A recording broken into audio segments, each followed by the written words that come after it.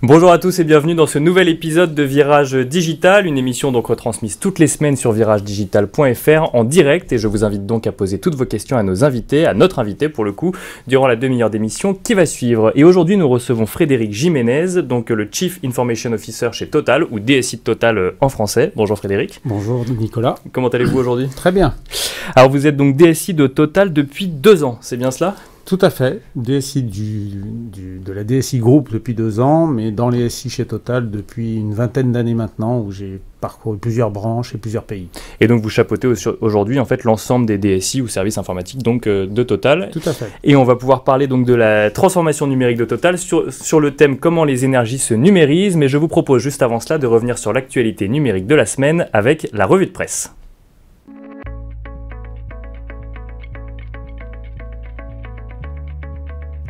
8,4 milliards d'objets seront connectés dans le monde en 2017. Ce chiffre, avancé par le cabinet d'études Gartner, montre ainsi une croissance de 31% par rapport à 2016, une progression qui pousse le cabinet à estimer que nous aurons 20,4 milliards d'objets connectés dans le monde en 2020, et une évolution qui sera source d'opportunités business puisque ces mêmes objets connectés généreront alors près de 2000 milliards de dollars en 2017 pour atteindre 3000 milliards de dollars en 2020. Des chiffres impressionnants, Frédéric? Est-ce que vous utilisez, vous, beaucoup d'objets connectés dans la transition euh, numérique de Total? Alors oui, évidemment, il y a des objets connectés. On en a beaucoup dans nos usines déjà, puisqu'on a beaucoup de capteurs sur toutes nos installations. Donc c'est un type d'objet connecté. Et puis euh, demain, un des objets connectés qui va beaucoup euh, impacter le monde de, de l'énergie et de l'industrie, c'est quand même les voitures qui euh, seront des objets connectés, euh, le sont déjà et le seront de plus en plus. Donc euh, oui, beaucoup d'objets connectés dans le monde de l'énergie. Et qui devront peut-être se connecter à la pompe ou à la station-service. Bah, on espérera qu'ils se connectent à la pompe de Total en tout cas. et eh ben, ce sera l'occasion d'en parler dans quelques instants dans, dans le débat, dans, dans, la deuxième partie de cette émission. deuxième info de cette semaine, ZDNet, le magazine IT, liste les 5 priorités IT pour 2017 pour les DSI. Il s'agit premièrement de créer des stratégies organisationnelles d'analyse de données. En effet, les données collectées sont tellement nombreuses que les DSI doivent se positionner pour traiter celle-ci, mais aussi pour organiser ce traitement. Deuxièmement, embrasser la technologie web, ce qui va permettre de créer une seule fois une application qui sera ensuite diffusée sur les différents écrans de l'utilisateur final. Troisièmement, ne pas ignorer le desktop et s'attaquer au navigateur actuel parce que si tout le monde parle de mobile et si celui-ci prend de plus en plus de place dans la vie des utilisateurs, ne pas oublier que dans le monde professionnel, l'ordinateur et ses applications restent essentiels dans 80% des cas.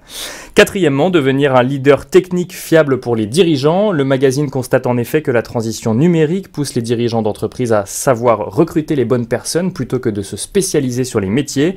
Une aubaine, une aubaine donc pour les DSI pour gagner ainsi en responsabilité stratégique.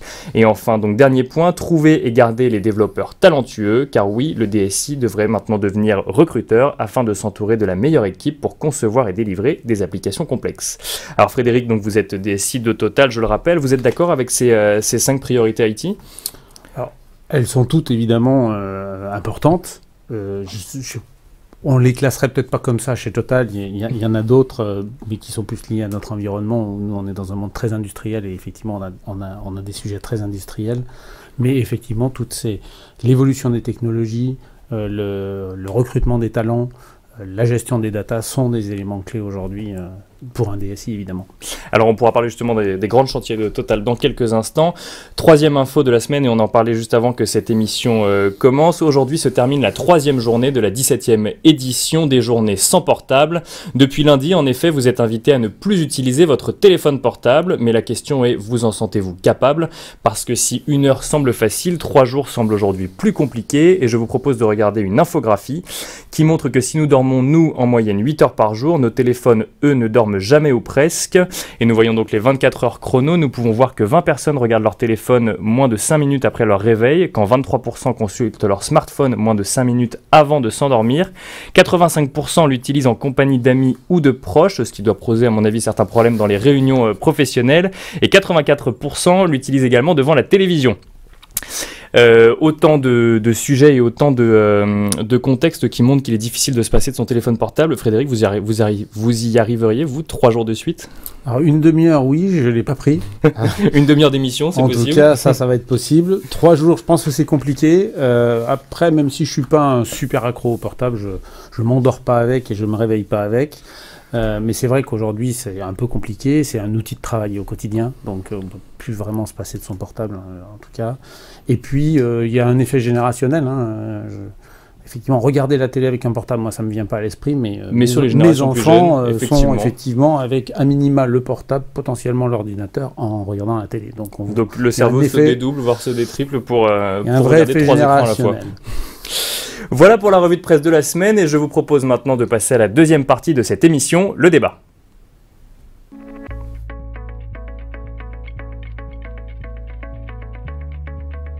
Un débat donc qui n'en est pas un, puisque nous interviewons Frédéric Jiménez, donc le Chief Information Officer de Total, sur le thème donc comment les énergies se numérisent. Derrière ce thème, en fait, c'est il s'agit de parler de la transition numérique de Total, euh, une transition qui est engagée depuis combien de temps, Frédéric? Tout d'abord, juste donner quelques éléments clés du groupe Total, parce que c'est toujours important pour comprendre, euh, quand on parle de numérique chez Total, ce que ça veut dire. Donc Total, c'est un grand groupe euh, énergéticien. on est présent dans 130 pays, 100 000 collaborateurs. Il y a à peu près 500 métiers. Donc 500 métiers, ça veut dire quasiment 500 besoins d'informatique différents. Et euh, c'est un métier qui a toujours été très informatisé, très automatisé. Et donc euh, le numérique euh, dans l'informatique de Total a toujours existé. Alors évidemment, il prend une ampleur encore plus décuplée aujourd'hui, mais c'est un sujet de toujours et qui est au cœur de toute façon de la plupart des métiers de Total. Pour, si, si on se rend sur le site de Total, on constate que les on parle de 500 métiers euh, hommes, mais les quatre grands métiers, ce serait euh, bah, l'industrie euh, pétrolière, donc à savoir délivrer, enfin chercher du pétrole et en faire de l'essence, l'industrie du gaz également, les énergies renouvelables et la chimie, c'est bien résumé L'organisation du groupe n'est pas tout à fait sur ce modèle-là, mais elle est plutôt dans la chaîne pétrolière, donc on a l'exploration et la production, c'est rechercher du pétrole ou du gaz et effectivement l'extraire du sous-sol le transmettre ensuite à la branche euh, raffinage chimique et la branche qui transforme ces produits-là en des produits finis, qui vont effectivement des carburants aux solvants, en passant par des gaz, etc., ou des produits pétrochimiques, qui eux-mêmes se transforment en, produits pour pouvoir faire du plastique. Euh, et puis ensuite, on a euh, la partie marketing et services, c'est toute la branche qui vend sous tous les canaux possibles, que ce soit des stations-service ou, autres, les produits pétroliers. Une branche qui prend effectivement beaucoup d'ampleur aujourd'hui, et la branche qui a été d'ailleurs nouvellement euh, refondue et renommée Gas Renewable and Power, euh, qui est axée sur le gaz, la vente euh, et le trading du gaz, et puis sur tout ce qui est renouvelable. Ce qu'il faut savoir, c'est que Total aujourd'hui est le numéro 2 mondial du solaire, avec sa filiale SunPower. On a racheté une société de batteries qu'on est aussi présent sur le marché de l'électricité. On a racheté récemment euh, la société Lampiris, société belge, qui vend de l'énergie, euh, enfin de l'électricité et du gaz euh, au grand public. Donc oui, un, mouvement, un mouvement sur cette, sur cette partie-là du business. Autant de métiers qui nécessitent donc des informatiques ou une transition digitale. On ne parle pas forcément de transformation, mais de transition. ça fait combien de temps qu'on s'est dit chez Total, il faut qu'on accompagne cette transition, il faut qu'on se digitalise? Ça s'est fait petit à petit, ça a été, ça s'est fait d'un coup? Alors, il y, a des, il, y a des, il y a des maturités diverses euh, et effectivement des mouvements euh, qui se sont étalés dans le temps. Il y a certaines parties qui sont digitales, entre guillemets, depuis toujours. Si je prends l'exploration-production, la recherche pétrolière est basée sur l'analyse sismique d'énormes quantités de données qu'on extrait du sous-sol, avec des puissances de calcul phénoménales et des développements d'applications ultra poussées, scientifiques, pour pouvoir analyser le sous-sol. Ce qu'on appelle le, HPC, le, High Performance Computing C'est le High Performance Computing. Total a, enfin l'année passée, je pense que les classements bougent, mais euh, avait l'année passée euh, le plus gros calculateur de l'industrie privée euh, dans le monde et un des, plus gros, un des dix plus gros calculateurs au monde. Et donc ça, effectivement, ces développements-là, ça fait plus de 20 ans qu'on en fait et c'est le cœur de l'exploration pétrolière. Donc cette partie-là a toujours été très très poussée sur, ces sujets très pointus en termes de numérique et de digital. Ensuite, on a eu une maturité euh, qui est venue assez rapidement autour du marketing, où le marketing, il y a déjà, je dirais, 3-4 ans, qu'il y a eu un mouvement avec une création d'une direction digitale du marketing pour se lancer, et effectivement, beaucoup lié à... Euh, problématiques d'ubérisation, de nouveaux business models, de repositionnement vis-à-vis -vis de nouveaux acteurs. Et depuis un petit peu moins longtemps, depuis deux ans environ, un, mouvement sur le reste des business, l'industriel, la partie employée, et qui a été matérialisée par la nomination d'un Chief Digital Officer en 2015. Donc si je comprends bien, en fait, chaque euh, division digitale ou chaque division de métier, pardon, a son propre rythme digital avec bah, les précurseurs, donc ce serait ceux qui cherchent du pétrole, si je simplifie, avec le HPC. Euh, si on prend l'industrie chez Total, comment est-ce qu'on la transforme, cette activité? Vous parliez tout à l'heure de, maintenance prédictive. Alors, dans l'industrie, effectivement, euh, le, digital doit amener à plusieurs axes.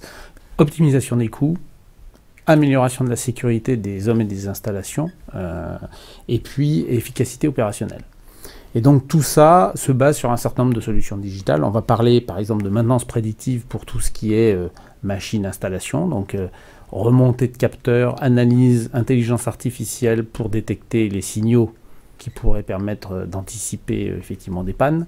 On va parler de géolocalisation des opérateurs pour les questions de sécurité. On va parler effectivement d'opérateurs connectés ou augmentés pour qu'il ait accès dans les installations pétrolières à tous les éléments qui lui permettent de travailler plutôt que de devoir retourner dans les salles de contrôle, etc. Et puis, on a aussi euh, tout ce qui est euh, un mouvement important aujourd'hui dans, le monde de l'exploration pour leur production, et en particulier des plateformes offshore, c'est ce qu'on appelle les smart rooms, c'est de déporter l'intelligence euh, des salles de contrôle qui étaient euh, historiquement sur les plateformes à terre, où on rassemble justement les expertises, on redescend les données dans les salles de contrôle depuis les plateformes, ce qui nous permet d'avoir moins de monde sur les plateformes, de pouvoir envoyer des experts uniquement quand on en a besoin, et donc d'optimiser euh, la capacité d'analyse et d'expertise que l'on peut mettre à disposition des différentes installations. C'est aussi pour des questions de, sécurité, peut-être que le, numérique peut venir euh, faire en sorte que l'homme prenne moins de risques puisqu'il est plus sur la plateforme mais il est euh, à terre et en fait c'est le capteur qui va pas le remplacer, mais euh, faire certains relevés ou lui renvoyer les informations Alors évidemment, il y a un aspect sécurité. Aujourd'hui, euh, s'il y a moins de personnes sur une plateforme, euh, c'est des environnements qui sont complexes et donc forcément, toujours, il y a toujours un aspect sécurité, mais il y a aussi un énorme aspect coût. Aujourd'hui, on, évalue le, mouvement qu'on est en train de faire sur les, sur les smart rooms de l'exploration production à un gain d'environ 85 millions d'euros par an d'optimisation de, justement euh, de fonctionnement grâce à ces smart rooms. Alors, vous parliez euh, en introduction également de la pompe connectée. Donc, c'est vrai qu'on a souvent parlé dans cette émission et euh, il ne se passe pas une journée sans qu'on ne lise pas un article sur la voiture connectée. Est-ce qu'elle se conduira toute seule ou est-ce qu'elle aura des capteurs? Enfin, est-ce qu'elle se réparera toute seule? Et c'est vrai que l'enjeu pour euh, le pétrolier total, mais pour, pour d'autres également, c'est de savoir bah, quand cette voiture va arriver à la pompe et qu'elle va, pompe et qu'elle va devoir s'approvisionner en essence, comment ça va se passer? Alors, du coup, quels sont les, les travaux menés aujourd'hui chez Total pour connecter la pompe et, et la voiture? Alors, la, première chose, c'est qu'aujourd'hui, déjà, on permet, euh, dans toutes nos stations en France, euh, le paiement euh, sans contact avec un smartphone. Donc, c'est un premier élément. n'est pas tout à fait la voiture connectée, mais on est déjà dans. Le conducteur connecté. C'est déjà le conducteur connecté. Ça permet de fluidifier le passage en station, permet d'accélérer le paiement, de le simplifier. Donc ça, c'est un premier mouvement qui est lancé. On est le premier pétrolier à faire euh, ça à cette échelle. Donc c'est un premier mouvement. Dans un deuxième temps, effectivement, on imagine euh, dans le futur que demain, la voiture pourra se connecter euh, avec un équivalent d'une carte, en fait, finalement, de, la carte du, conducteur, directement à la pompe, pour pouvoir payer sans avoir à aller à la caisse. On a déjà des expérimentations qui sont en cours en Allemagne avec, avec une société de car sharing euh, et donc euh, ça fonctionne très bien et les démonstrations sont assez intéressantes. On voit effectivement le conducteur qui doit encore quand même aller remplir sa voiture. Donc il faut quand même sortir de la voiture. Mais la voiture ne fait pas tout encore La voiture ne fait pas encore tout, mais en tout cas il n'a plus besoin d'aller euh, jusqu'à la boutique pour payer. Alors on a parlé de trois métiers qui sont très différents la recherche de pétrole, l'industrie ou le, le, métier marketing. Donc à savoir quand on va vendre ce vendre l'essence. Et les trois en fait faut remonter la même chose, c'est que c'est des capteurs qui vont renvoyer de l'information, qui vont envoyer ce qu'on appelle de la donnée. Et ça a l'air d'être le casse-tête du siècle, ou l'enjeu du siècle, en tout cas pour le DSI, c'est qu'après, il faut traiter cette donnée. Alors déjà, quand on fait ça que pour le marketing dans une entreprise, ça a l'air compliqué. Comment est-ce qu'on fait chez Total quand on a euh, des remontées différentes et des enjeux différents en fonction de ces, de ces données-là? Il y a plusieurs actes. Le premier point, c'est que toutes les données n'ont pas besoin d'être rassemblées, voire partagées entre tous évidemment que certaines données sont propres à certains métiers, à certains besoins, et donc il n'y a pas de nécessité absolue d'avoir, par exemple, un immense entrepôt où on y mettrait toutes les données totales. Donc déjà, on n'est pas sur une globalisation de toutes nos données. Et on est bien sur le rassemblement des données qui font du sens et, donner accès à ces données aux gens qui en ont besoin. Donc on n'a pas un entrepôt de données, on en a N, et en fonction des besoins. Euh, le deuxième élément qui est important, c'est qu'effectivement, pour rassembler toutes ces données, on a besoin aujourd'hui euh, de faire un certain nombre de refontes assez fondamentales de nos socles technologiques euh, d'architecture de base. Alors c'est pas les choses qui se voient, c'est pas forcément les choses les plus sexy du digital, mais aujourd'hui pour pouvoir remonter des données un peu de partout, eh ben, il faut des télécoms qui fonctionnent partout. Il faut de la sécurité qui est peut-être moins périphérique qu'elle a pu l'être, mais plus répartie pour qu'on puisse sécuriser les flux de données partout où ils sont. Et puis il faut pouvoir donner accès à ces données sur d'autres devices que le PC dans la tour totale et donc là aussi une nouvelle ouverture. Et donc on a un certain nombre de grands chantiers de fonds qui sont euh, justement sous-jacents à le rassemblement et à la mise à disposition de toutes ces données. Ça veut dire que vous travaillez de plus en plus sur le cloud ou c'est euh, parce que quand on parle d'un côté de donner mettre à disposition de collaborateurs ou d'autres entités et de l'autre qu'on parle de sécurité, le, cloud fait toujours un peu débat dans ces euh, dans ces sujets. Alors le, cloud a longtemps été un sujet qu'on regardait mais vers lequel on allait très lentement. Euh, on est en train de shifter assez, radicalement sur le sujet euh, parce que de toute façon aujourd'hui c'est un vrai game changer et on y voit un intérêt en particulier de souplesse euh, de, la mise à disposition de solutions. Donc on a une vraie stratégie cloud aujourd'hui qui est lancée. on a une réflexion sur l'environnement de travail des collaborateurs Total qui sera dans le cloud bon, c'est pas encore lequel, qui sera dans, dans un cloud. Dans un cloud public. Euh, Donc pas de, pas de cloud hybride, ce sera... Euh, Après, dire que les 100 000 collaborateurs du, du, groupe seront dans un cloud public, non, mais en tout cas probablement la grande majorité. Donc euh, il y aura forcément toujours des périmètres particuliers qui auront un traitement particulier, mais le but est de dire la majorité des gens de Total aujourd'hui doivent pouvoir avoir accès aux solutions qui sont du marché, sans restriction majeure. Après, ça veut dire euh, évidemment beaucoup de sensibilisation euh, des utilisateurs sur euh, ces nouveaux modes de fonctionnement, beaucoup d'accompagnement pour gérer ces, transformations. Mais effectivement, c'est un mouvement donc vers le cloud. On va y aller résolument. on a commencé déjà, hein, on a quand même un parc. finalement, on y va beaucoup aujourd'hui par le SaaS, parce que nos nouvelles applications sont quand même très majoritairement déjà hébergées en, SaaS. Donc quelque part c'est une forme euh, évidemment de cloud, mais là on veut prendre un mouvement plus, dynamique que l'on maîtrise nous-mêmes de choix de transformation de nos infrastructures, de nos solutions vers le cloud.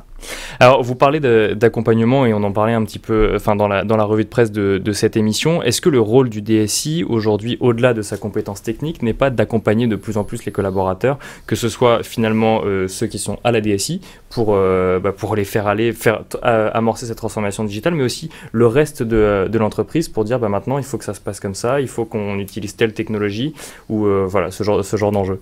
Alors, le rôle du DSI, effectivement, il a, plusieurs euh, pieds euh, sur lesquels il faut être en équilibre. Il en a un, c'est d'abord quand même, il faut toujours faire fonctionner. N'oublions pas que le digital c'est bien, mais que le SI du groupe est le SI sur lequel fonctionne la majorité de l'activité du groupe et que c'est un système d'information qu'il faut faire vivre, évoluer, qu'il faut optimiser en permanence. Donc aujourd'hui, dans le rôle du DSI, il y a d'abord un, sujet de d'excellence opérationnelle et d'optimisation de la performance, y compris économique, du SI existant. Et aujourd'hui, on a lancé des très gros chantiers. On a baissé les coûts du SI de Total de, de pratiquement 10% dans les dernières années, 10% par an. Et donc on a un vrai enjeu de, sur ces aspects-là, et qui sont très attendus par le management, parce qu'aujourd'hui on est dans un environnement compétitif, et donc euh, l'optimisation du, du, système d'information est un enjeu clé.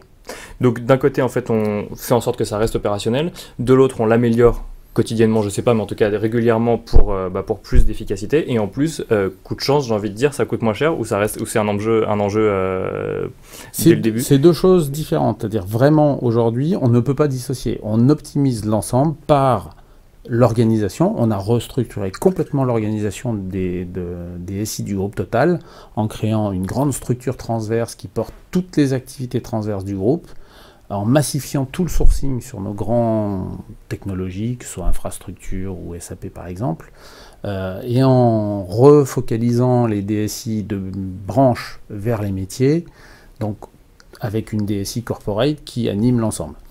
Donc ça, c'est un axe et on doit optimiser tout ça. Ensuite, on a effectivement une définition de la stratégie d'évolution de notre SI, vers quoi il doit aller pour à la fois continuer à vivre, mais être capable d'accueillir toute la transformation numérique qui est autour. Donc ça touche les socles d'infrastructure, comme je l'ai dit, mais ça touche aussi nos solutions de sécurité, la capacité de nos applications à se connecter. On disait tout à l'heure dans votre revue de presse, les applications doivent être web pour pouvoir être lues partout. Bon, bah évidemment, notre parc de plusieurs milliers d'applications, il n'est pas majoritairement web aujourd'hui, donc il y a un travail à faire. Donc ça, c'est une, vraie transition qu'on doit accompagner en même temps que cette, cette, faire fonctionner le SI. Et puis, évidemment, il y a aussi explorer tout le, je dirais, le terrain du possible et guider les métiers, le management dans les choix que l'on peut faire pour pouvoir servir les intérêts du groupe et la croissance et l'évolution du groupe. Et là, il y a un travail effectivement qui est un peu nouveau, d'accompagnement, d'évangéliste, d'explication, de tri aussi, parce que c'est pas si évident que ça de choisir ou d'expliquer pourquoi on ne veut pas choisir certaines solutions. Euh, et c'est un travail qui est à la fois vers nos métiers, évidemment, mais aussi vers les collaborateurs des DSI. Et là, je suis d'accord, parce que les collaborateurs des DSI ont aussi besoin de prendre ce virage. Euh, et en particulier, pour moi, un axe très fort, c'est il faut absolument que les gens des DSI se, soient très orientés, évidemment, clients, mais aussi très orienté usage. La techno pour la techno n'est pas une. C'est ça, il, il ne suffit pas que ça fonctionne, il faut que ce soit euh, facile à utiliser et faut pas que voire joli aussi peut-être. Oui, il faut pas que ça fonctionne seulement, en tout cas. Et il faut pas non plus que ce soit la meilleure technologie, mais il faut que ce soit celle qui apporte le plus de valeur au business, celle peut-être qu'on peut mettre dans ses mains le plus rapidement possible, qui est la plus facile d'utilisation, et qui sera peut-être pas effectivement la plus chère et la plus solide dans, un, dans l'esprit de l'IT euh, euh, qu'on a pu avoir jusqu'à maintenant. Qu'on se rende compte, c'est combien de personnes euh, la DSI de, Total en France, du groupe Total? Enfin, ou les DSI Les DSI, hein, parce que je le dis, il y a une DSI corporate, des DSI de branche très orientées vers les métiers, et puis une grande structure transverse. Donc la, les SI donc statutaire de Total, c'est environ 2000 personnes. La moitié sont dans les DSI, dans les structures DSI, et l'autre moitié sont dans les filiales et les sites, puisqu'on a quand même une capillarité euh, pour des gens un petit peu partout dans nos 130 pays. Alors l'autre grand, enjeu euh, du DSI, c'est évidemment la sécurité. Alors après, en fonction des métiers, c'est euh, plus ou moins euh, important, même si ça reste très important de protéger son IT et de protéger son activité de manière générale quand elle repose en plus sur, sur une, infrastructure informatique. Comment est-ce qu'on la prend en compte quand on est DSI et quand on est DSI en charge d'une transition numérique? La sécurité SI a toujours été un sujet qui a été pris très au sérieux chez Total la, sensibilité de nos données euh, est forte. On, est dans un monde extrêmement compétitif, euh, avec des enjeux très très forts. Donc on a une culture de la sécurité des données depuis toujours. on avait justement peut-être une culture de la sécurité un petit peu trop euh, fermée et un peu trop exhaustive. C'est-à-dire tout, on a une tendance à beaucoup sécuriser à peu près tout, et dans une version très coffre-fort. Donc on ferme les vannes et puis comme ça on, ferme que ça sort pas. Ben voilà, on ferme à peu près tout et on dit tout est important. Donc la réalité évidemment est, différente. On sait que tout n'a pas le même degré d'importance. Euh, en même temps, la transition digitale, l'usage du cloud, l'usage de nouveaux devices, etc., rend euh, cette euh, approche très périmétrique, très château fort, caduque. Donc aujourd'hui, mon, enjeu, c'est de faire en sorte qu'on ouvre la sécurité pour pouvoir justement aller la mettre partout et aux bons endroits. Plutôt que d'avoir un gros coffre-fort, plusieurs petits coffres-forts, mais... Euh, et puis pas tout dedans, pas les tout petits dedans. coffres-forts, c'est-à-dire effectivement, il faut sécuriser la donnée euh, qui est importante là où elle est, et des fois elle est dans le cloud. Et puis, euh, les solutions de cloud aujourd'hui embarquent une sécurité naturelle qui est plutôt bonne, donc ça n'est pas la peine de forcément tout le temps en rajouter, il faut faire confiance aujourd'hui à, ces acteurs.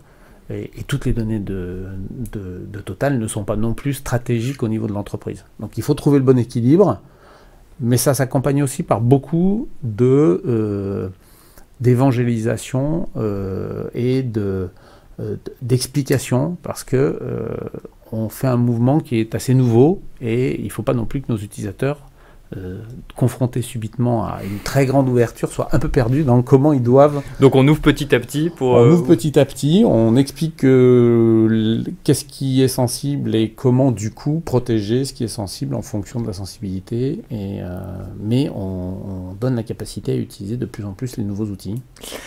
Pour finir, euh, Frédéric Jiménez, cette transition digitale ou ce virage digital, euh, comme, euh, comme s'appelle cette émission, a donc été amorcé il y a quelques années chez Total. quand on fait bouger un groupe aussi grand et qu'on lui fait prendre le virage digital, vous pensez que vous en avez pour combien de temps encore, si tant est qu'il y ait une fin dans le virage digital? Vous savez, le virage digital, c'est une évolution de l'informatique, comme il y en a déjà eu beaucoup. Alors c'est vrai que celle-là, elle est forte et très rapide. Je pense qu'aujourd'hui, c'est effectivement c'est une évolution qui n'a pas de fin en tant que telle. Euh, donc la question est plutôt comment on met en, place une structure qui est capable d'accompagner ça de manière un peu permanente.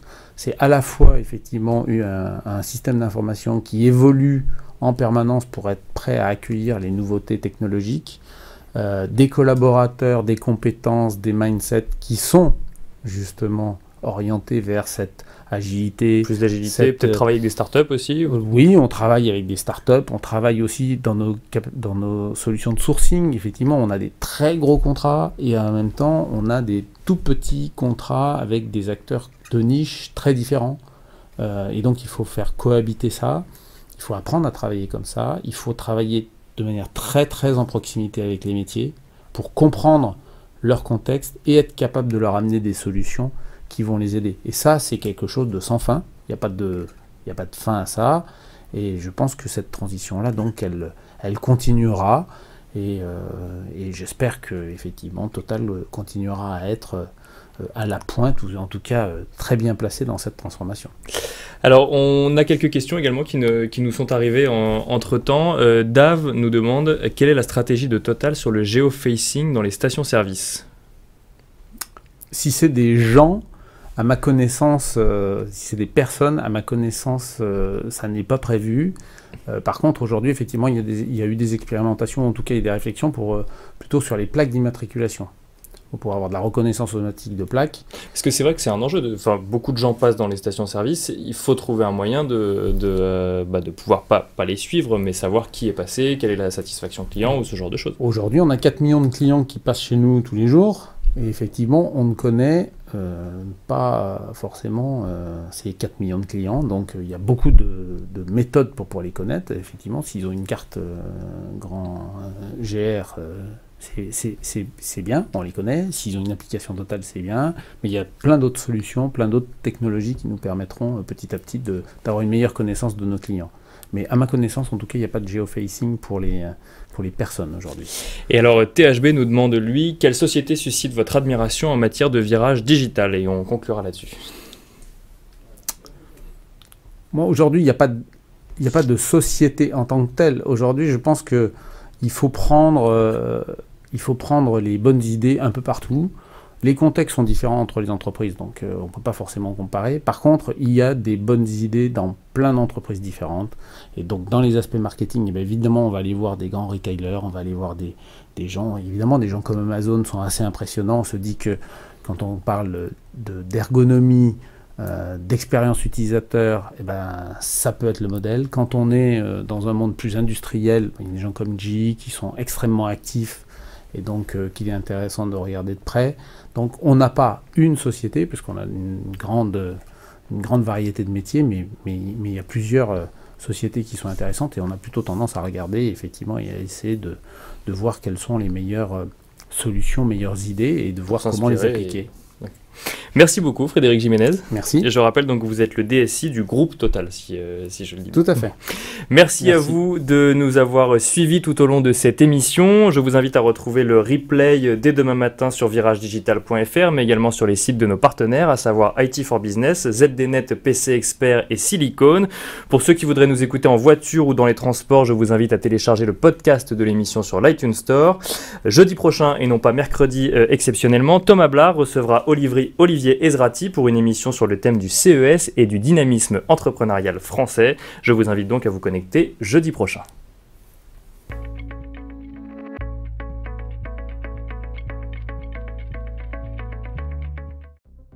Demain appartient au plus rapide.